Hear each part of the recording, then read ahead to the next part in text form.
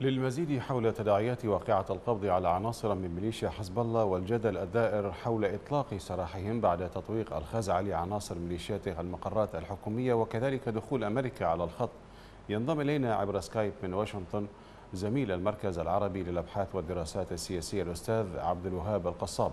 أستاذ عبد الوهاب مرحبا بك. بداية آه، تداعيات الأحداث منذ أمس لم تهدأ بعد يعني بعد أن قامت خصوصا بعض القوات الحكومية باعتقال عناصر من ميليشيا حزب الله. اليوم تقرير أمريكي يقول إن الميليشيات الموالية لإيران زادت من أنشطتها العنيفة المزعزعة للاستقرار. يعني ما المتوقع من أمريكا ما المتوقع من الولايات المتحدة حيال أنشطة تلك الميليشيات في العراق؟ آه، أهلا وسهلا. آه، يعني في واقع الحال أنه آه، جهة اتخاذ القرار في الولايات المتحدة وفي واقع الحال هذا القرار سبق وأن اتخذ منذ فترة. يعني منذ المجابهة السابقة خول رئيس الولايات المتحدة آه، ترامب آه، وزير دفاعه باتخاذ الإجراءات اللازمة آه، عندما تتهدد مصالح الولايات المتحدة في هذه المنطقة من العالم. وكانت تهديدات الخزعة المبطنة يوم الأمس واضحة هنالك بأن المستهدف هو المصالح الأمريكية والمؤسسات الأمريكية في العراق.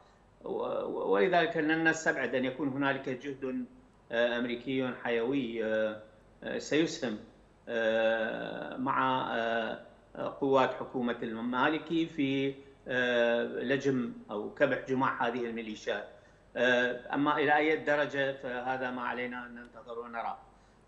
الحقائق الواضحة حتى الآن أن هنالك ثمة معتقلين آه، قيل أن عددهم عشر وأن هنالك آه، يبدو أن هنالك عناصر إيرانية مع هؤلاء المعتقلين ولذلك فأن أعتقد أن الصفيحة ساخنة الآن ودعنا نرى ما الذي ستأتي به الأيام. طيب أستاذ عبد الوهاب يعني من أهداف الحوار الأمريكي مع الكاظمي حصر السلاح بيد الدولة والقضاء على الميليشيات.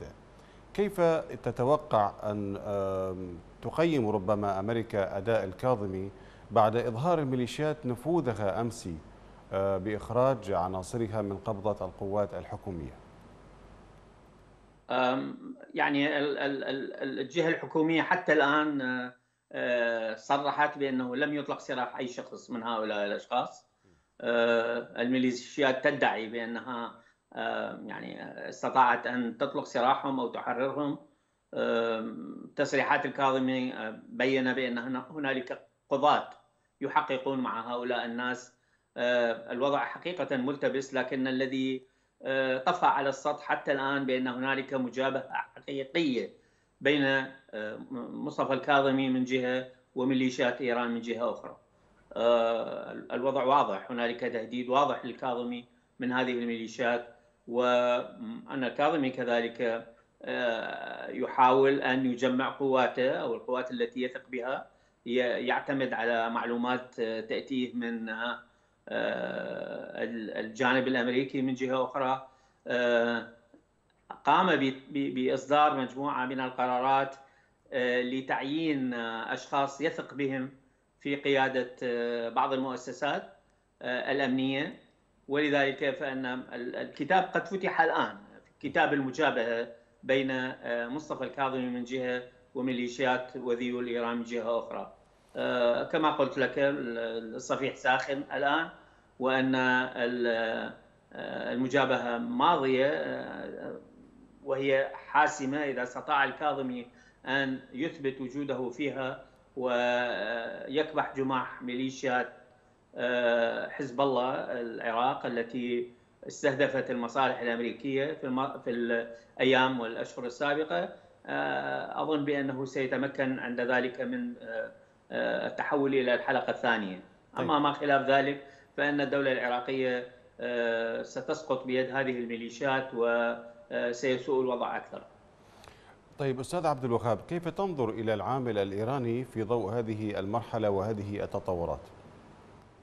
العامل الايراني واضح العامل الايراني ليس بعيدا. آه، ما اقرأه أنا أن هنالك خطة انقلابية آه، تقوم بها الجهات الإيرانية لصالح الميليشيات. كانت هنالك زيارات في الفترة الأخيرة قاآني وزار العراق.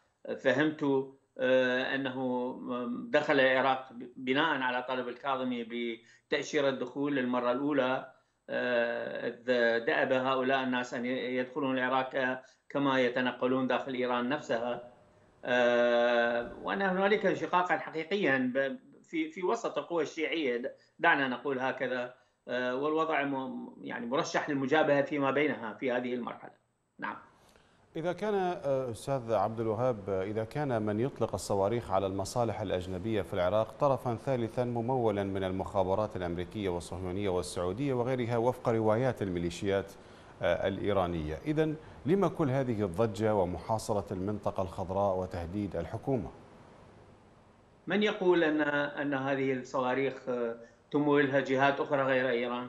الجهة الوحيدة التي يعني تدفع حقيقة هذه الميليشيات لاستهداف مصالح الولايات المتحدة بهدف واضح أن إيران قد اختنقت الآن وتريد فرجة من الأمل لكي تتفاوض مع جهة القرار في الولايات المتحدة للتخفيف عنها. وقد اتخذت من أرض العراق ساحة لتمرير مخططها الخبيث هذا.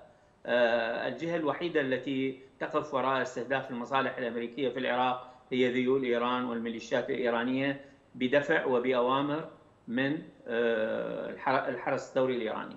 طيب أستاذ عبد الوهاب زعيم ميليشيا العصائب قيس الخزعلي هدد بالفوضى ردا على اعتقال عناصر ميليشيا حزب الله. وطبعا خلال هذه المرحلة إلى أي مدى تعتقد أن هذه المواجهة التي تتوقعها أو ذكرتها ربما تكون أو تقود إلى طرق أعنف تتطلب ربما تدخلا امريكيا؟ حقيقة هذا هو يعني هذه هي الحلقة الأخيرة من من السيناريو أو المشهد الذي يمكن أن نرسمه أنه تتدخل قوى الولايات المتحدة بشكل مباشر لدعم حقيقة وليس لدعم قوات مصطفى الكاظمي التي هي في واقع الحال جهاز مكافحة الإرهاب بشكل رئيسي وجهاز المخابرات يعني بين قوسين الوطني العراقي من جهة أخرى. ستقدم له الدعم الجوي ستقدم له الدعم اللوجستي ستقدم له المعلومات المطلوبة.